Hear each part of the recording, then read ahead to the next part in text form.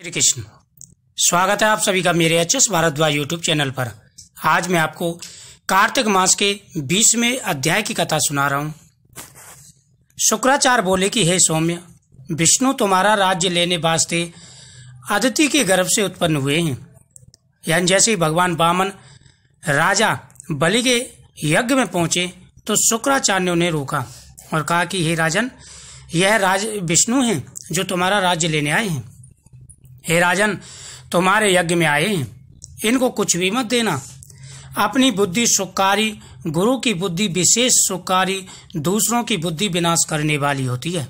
हे राजन, अपने मन से जो कार्य करता है, वो सुखकारी होता है, लेकिन गुरु के कहने अनुसार जो चलता है, वह परम सुखकारी होता है। और दूसरों की कहे में जो बंदा चलता है, उसका विनाश हो जाता है। स्त्री की बुद्धि प्रलयकारी होती है और जो स्त्री के कहे में चलता है, वह विनाश को निमंत्रण देता है। जो शत्रुओं का हित करने वाला हो, उसको अवश्य मारना चाहिए। सायक के नाश होने पर कुछ उपाय नहीं चलता। बलि बोला कि, हे गुरुदेव, धर्म मार्ग विरोधी बातें नहीं करनी चाहिए। जो विष्णु आप दुनिया को देने वाले हैं, जो विष्णु पूजनीय हैं विष्णु विष्णु के प्रसन्न करने के वास्ते लोग न जाने क्या क्या प्रयत्न करते हैं। और जो साक्षात विष्णु मेरे द्वार पर आए हैं, एक से बढ़कर के और मेरे लिए क्या चाहिए? किसी दरिद्र से भी विष्णु को दिया दान अक्षय होता है। परम भक्ति से स्मरण किए गए पुरुषोत्तम भगवान पवित्र हैं। दुष्ट बुद्धि वाले भी अगर भगवान विष्णु का स्मरण करते हैं, वह भी पवित्र हो जाते हैं। जैसे इच्छा बिना भी स्पर्श की हुई अग्नि जलाती है, जिसकी जिब्या में हरि ऐसे दो अक्षर हैं, वह पुरुष आगमन रहित विष्णु लोक को प्राप्त होता है। हे गुरु जी अग्नि में व ब्राह्मण में जो लोग हवन करते हैं, विष्णु की स्मरण करते हैं, वे लोग प्रसन्न हैं, धन्य हैं। यदि आप ही विष्णु आते हैं तो मेरा तो कृतज्ञ है, मेरा तो जीवन सफल हो गया। ऐसे बलि नाम दानव के बोलते हुए बामन रूपधारी भगवान यज्ञ स्थान में आए। सूत जी कहते हैं कि बलि ने विष्णु जी को अर्घ दिया। नेत्र में अश्रु युक्त बलि बोले, आज मेरा जन्म सफल हो गया। मैं कृतज्ञ हूँ। ये सब ऋषि लोग कृतज्ञ हैं। पूर्व की तपस्या का फल है। मैं धन्य हूँ, कृतज्ञ हूँ, भाग्यवान हूँ। मैं तुम्हारा नौकर हूँ। कहो, मुझे क्या आज्ञा है? बामन बोले, हमको तपस्या करने के लिए तीन पग धरती तू। ऐसे वचन सुन बलि नाम दानम ने कहा, राज्य क्यों नहीं मांगते? ग्राम मांगो, नगर मांगो, जो तुम्हें चाहिए वो मांगो। सूत जी कहते हैं, वह सुनकर ऋषि भेजदारी विष्णु जी बोले, वैराग्य दिखाते हुए बोले कि हे देवेंद्र, सुनो, गुप्त से गुप्त बातें मैं तुम्हें बताता हूँ। हम तो जीवन के अंतर्यामी हैं। जैसा जानो, सब बराबर हैं। धन से हमें क्या मतलब है? शास्त्र में यह निश्चय है। पृथ्वी क्षत्रियों के बस में उनकी आज्ञा से सब रहते हैं, जो परम पद को प्राप्त होते हैं। सब जीवन को अपने समान देखने, शांत चित्त वाले ऐसे ऋषियों का स्वभाव होता है। ब्राह्मण क्षत्रियों को ब्राह्मण को पृथ्वी का दान देना चाहिए। ब्राह्मण भी छठा अंश तपस्या का देव है। पृथ्वी दान का महत्व हम कहते हैं। हमने छोड़ दूसरा कहने को कोई समर्थ नहीं है। जो लोग कुटुंब वाले विद्वान को पृथ्वी देते हैं, वो फिर आवागमन से दूर हो जाते हैं। जिसने भूमि दी, उसने सब कुछ दिया। भूमि देने वाला मुख्य का अधिकारी होता है।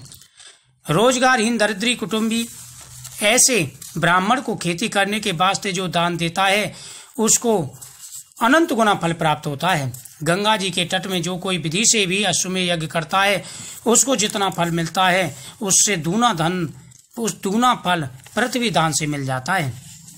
भूमि दान के समान दूसरा दान नहीं, और सब पापों का नाश करने वाला है। हे दैत्य पृथ्वी संबंध इतिहास सुनो, जिसके सुनने से भूमि दान के समान फल होगा।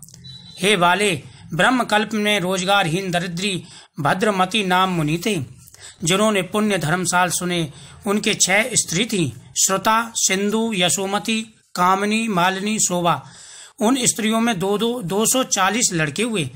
भद्रवती नाम मुनि अपने लड़कों को क्षुब्धा से पीड़ित देख, आप भी खुदा से पीड़ित बिलाप करने लगा। बिना पुत्र, बिना धन, जन्म धिक्कार है। धर्म, आदिति पूजन, आचार, स्नान, रहित जो जन्म है, उसे धिक्कार है। मांगने वाले सुख रहित जन्म को धिक्कार है। गुण सोम में पंडित, समीचीन कुल में जन्म, यह सब दरिद्र दरिद्रता के शोभित नहीं होते। पुत्र, पौत्र, मामा का लड़का, भाई, शिष्य दरिद्री को छोड़ देते हैं। चाहे ब्राह्मण हो, चाहे चांडाल हो या भाग्यवान, दरिद्री पुलिस का सभी साथ छोड़ देते हैं। कोई भी दरिद्री का साथ नहीं देता। जो लोग आशा के दास हैं, वे सब के दास हैं, जिनकी आशा दासी है, उनका सब लोग दास हैं। शास्त्रों के जानने वाले दरिद्री गूँगे समान रहते हैं। दरिद्र रूपी महासंग्राम ने जिसने पकड़ा, उनको छुड़ाने वाला कोई नहीं। दुख से दुख, दरिद्रता दरिद्रता में बहुत स्त्री, बहुत पुत्र वाला अति दुखी होता है। हे राजन भूमि दान का उत्तम कहा जिसके देने से मनुष्य को मनोरथ करे, सो प्राप्त हो। ऐसा विचार करके हे बाले, बुद्धिमान धीर, भद्रमती नामक ब्राह्मण स्त्री सहित कौशम्बी नामक नगर में गया।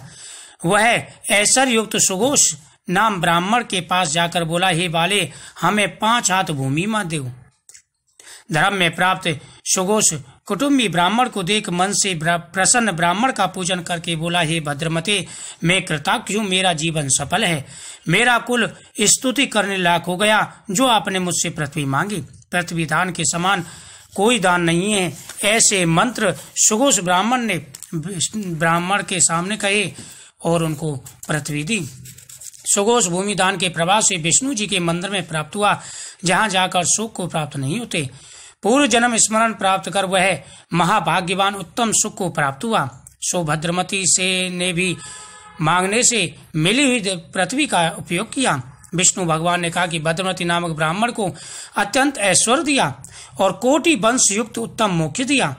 इस कारण हे दैत्यपते, तुम सब धर्मों से युक्त हो और मुझे तीन पग पृथ्वी दो। मोक्ष के वास्ते हम उत्तम तपस्या करेंगे। आनंद से भगवान को पृथ्वी दान देने के वास्ते जलयुग लौटा लिया, उसमें टोटी लगी थी। इतने में तपोबल से शुक्राचार्य ने उस टोटी के अंदर प्रवेश किया। ये बात विष्णु जी ने जान ली। टोटी चंद्र में कुशा छोड़ दी।